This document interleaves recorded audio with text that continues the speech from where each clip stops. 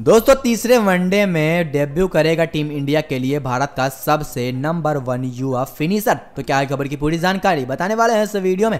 अगर आप भी हैं भारतीय टीम के फ़ैन तो इस वीडियो को लाइक करें और चैनल को सब्सक्राइब ज़रूर करें। दोस्तों, भारत और वेस्टइंडीज के बीच खेले गए तीन मैचों की वनडे सीरीज़ का तीसरा और आखिरी मुकाबला शुक्रवार को अहमदाबाद के मैदान पर खेला जाएगा।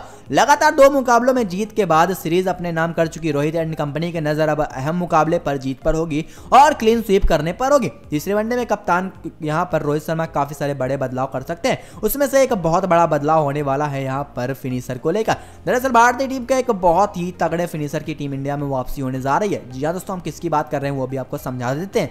दोस्तों, एम एस धोनी के जाने के बाद भारतीय टीम ने लगातार फिनिशर्स की तलाश की है। पर फिनिशर्स मिल ही नहीं पाते हैं। भारतीय टीम को कभी किसी खिलाड़ी से संतोष करना पड़ता है तो कभी किसी। लेकिन अब भारतीय टीम के पास एक तगड़ा फिनिशर है, जो कि भारतीय टीम को सारे मुकाबले जिता सकता है। चलिए बात करते हैं हम किस खिलाड़ी की बात कर रहे हैं। दरअसल दोस्तों हम बात कर रहे हैं शाहरुख खान की।